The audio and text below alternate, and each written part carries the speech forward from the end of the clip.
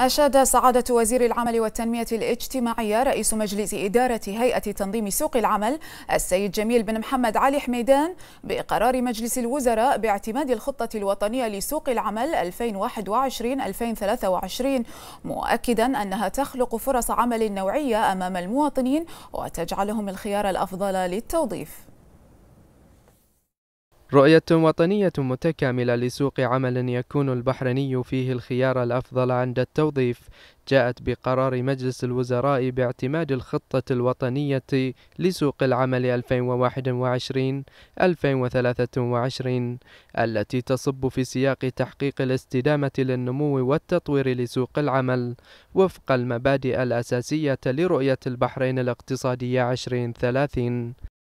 واخذت الخطة في عين الاعتبار التحديات التي تواجه سوق العمل والإنجازات التي تم تحقيقها على أرض الواقع للبناء عليها. من خلال خطة وطنية شاملة تعزز من النمو الاقتصادي وتخدم أهداف تطوير قدرات ومهارات الموارد البشرية الوطنية وتحسن من الوسائل والآليات وقواعد المعلومات والمؤشرات التي تسهم في تحقيق النمو المستدام. الخطة تضمنت عدة محاور تهدف إلى خلق المزيد من الفرص النوعية للمواطنين لجعلهم الخيار الأفضل عند التوظيف من خلال تكثيف التدريب الفني والمهني.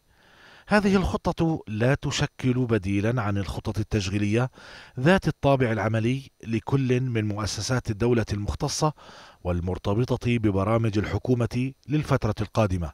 وإنما هي منسجمة مع سياسات وخطط المملكة خلال فترة تطبيقها. تجسد الخطة الوطنية لسوق العمل في إطارها العام تحقيق مبدأ أفضلية التوظيف للعمالة الوطنية لتكون الغاية والوسيلة من أجل تسريع وتيرة توظيف الباحثين عن عمل ورفع كفاءتهم المهنية وصولا إلى تعزيز الاستقرار الوظيفي للعمالة الوطنية.